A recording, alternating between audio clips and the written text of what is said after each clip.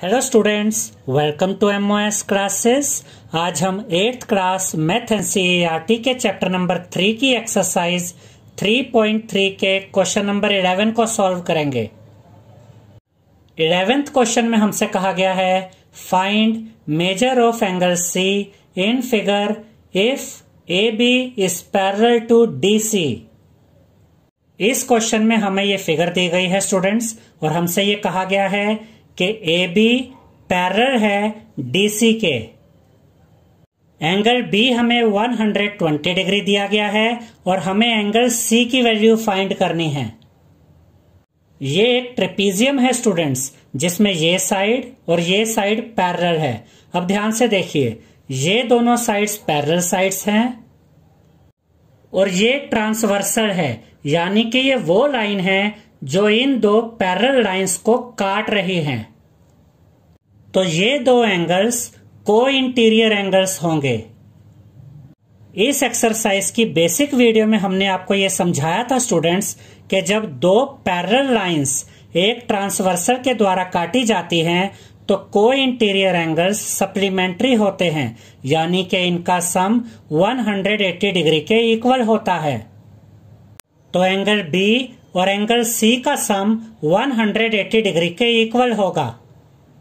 तो यहाँ पर हम लिखेंगे since A B is parallel to D C and B C is transversal therefore angle B plus angle C is equal to 180 degree इसका ये मतलब है, क्योंकि ए बी और डी सी पैरल लाइन्स हैं और बी सी ट्रांसवर्सल है। देखिए ए बी और डीसी पैरल साइड्स हैं पैरल लाइंस हैं और बी बीसी ट्रांसवर्सल है। इसलिए angle B plus angle C equal होगा 180 डिग्री के। और इसका रीजन हम लिखेंगे को इंटीरियर एंगल्स यानी कि ये दोनों को इंटीरियर एंगल्स हैं, इसलिए इनका सम 180 डिग्री के इक्वल है। एंगल बी की जगह यहाँ पर हम लिखेंगे 120 डिग्री, क्योंकि एंगल बी हमें दिया गया है 120 डिग्री। ये प्लस का साइन यहाँ पर एज इट इज़ आएगा, एंगल सी भी यहाँ पर एज इट इज़ आ जाएगा इज़ इक्वल टू का साइन भी एज इट इज़ आएगा 180 डिग्री भी यहाँ पर एज इट इज़ आ जाएगा। अब हमें तो एंगल सी की वैल्यू फाइंड करनी है तो एंगल सी को हम यहाँ पर एज इट इज़ लिखेंगे। इज़ इक्वल टू का साइन भी एज इट इज़ आएगा। 180 डिग्री भी अपनी जगह पर रहेगा। और जब आप पॉजिटिव 120 डिग्री को राइट हैंड साइड में लेकर आएँगे तो यहाँ पर आकर ये माइनस वन डिग्री हो जाएगा। और जब आप 180 डिग्री में से माइनस करेंगे 120 डिग्री को तो आपको मिलेगा 60 डिग्री।